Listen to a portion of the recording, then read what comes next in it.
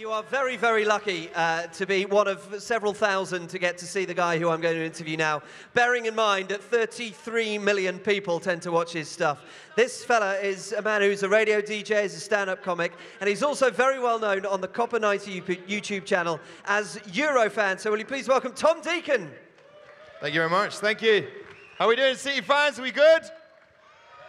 Good, good, good. I, I Thanks for having got, me. That's a, it's a very great pleasure to have you here. I, I wonder if you've got a business card. There's a lot of things to have on your business card. yeah, too many things, too many things. I don't want people to hate me, so please make them like me. Um, yeah, no, I'm the Euro fan, so um, I, I cannot wait to watch Manchester City tonight and support them. I'm wearing the jersey. I'm excited to be here. One of the things you do, particularly on days like this, is that you, you learn the ways of being the fan of the club that you follow. You've been to Madrid, to Mi- Milan, you've been to all these wonderful places. So, what have you done today to get in the mould of a blue? Uh, I've been hanging out with a few amazing bloggers, um, uh, chatting to them. I also got a little interview with Patrick Vieira, which I can't uh. Even laughed at one of my jokes, which is nice, uh, which was tough, very tough. I've watched the under 19s and the EDS. Uh, I haven't seen it. I haven't met enough of the fans that are out here, so I want to chat to them on camera and find out what it's all about being a City fan. If you're around in the next few minutes and you have an opportunity, come and seek Tom out, and he'll have a camera with you. So make sure the makeup's all ready and the hair is all in the right place, because you may well be uh, on YouTube uh, later on. Uh, tell us, as you are the reporter who saw uh, the EDS game uh, earlier on, how did that go? Uh, not, not the best result. That's all we can say. Um, Man City were leading 1 0.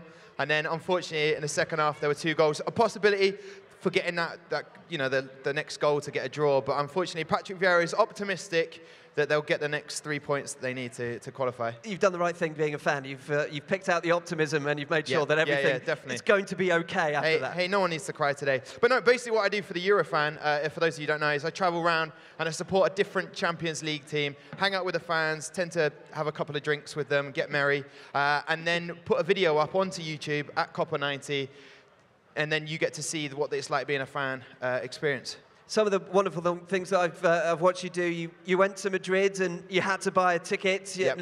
M- Milan, you struggled somewhat and had to Yeah, go yeah. buy a certain dark Dodgy route. deals, dodgy deals. To T- tell us a little bit about what it was like in those two places. Oh, I mean, amazing. I mean, obviously to go to the San Siro is uh, it was a dream come true, but you couldn't get a ticket for love nor money. They'd sold out a long time ago, uh, and obviously they didn't know the Milan fans they were going to win 2-0 against Barcelona that night. So I had to pay above and beyond the money to a man from Naples, very dodgy, got in a car, headed out miles to an internet shop. Listen, I'm not going to bore you with the story. Basically, I got in there, and that's the main thing. And that's basically what Eurofan is. It's a bit guerrilla style. You know, we don't get a lot of help necessarily from the club, so we, we're just like fan, like I'm a fan, just like you guys. And um, but now I'm worse than Ibrahimovic in the fact that I've supported so many clubs.